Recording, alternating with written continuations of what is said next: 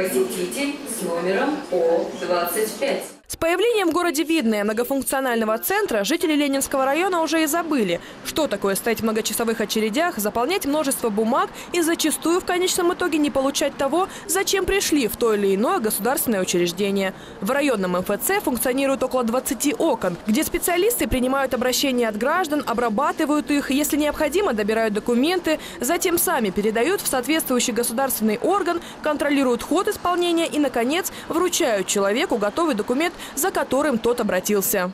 Проблеме предоставления государственных муниципальных услуг на всех уровнях власти уделяется очень большое внимание. Президентом Российской Федерации поставлена задача к 2018 году довести удовлетворенность граждан получаемыми услугами до 90%. Это очень высокий процент, и мы к нему стремимся. На сегодняшний день отделение многофункционального центра расположено во всех поселениях района. Это сделано для удобства жителей муниципалитета и чтобы избавиться даже от малейших очередей в Видновском МФЦ. Отделение Компания также предоставляют весь спектр услуг, правда пока не все офисы соответствуют стандартам, поэтому некоторые из них требуют доработки. У нас очень много требований.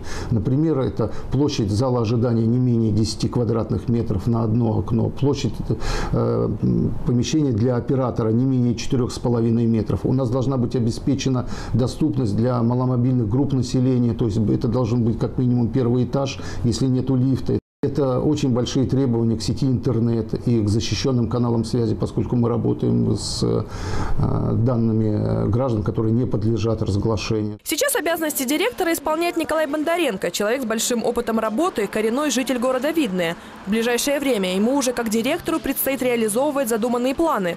Глава Ленинского района поставил задачу перед начальством многофункционального центра максимально повысить уровень удовлетворенности получаемыми услугами не только граждан, а также местным работникам работы сотрудников МФЦ.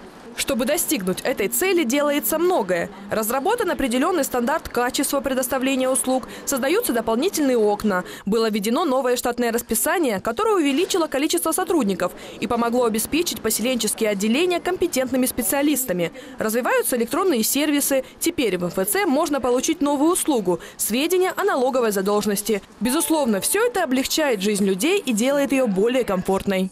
Очень нравится, все очень удобно, все очень хорошо.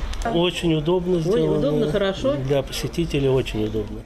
Многофункциональный центр в городе Видное работает ежедневно без выходных с 8 утра и до 8 вечера. Также на сайте МФЦ есть электронная запись, где можно встать в очередь онлайн.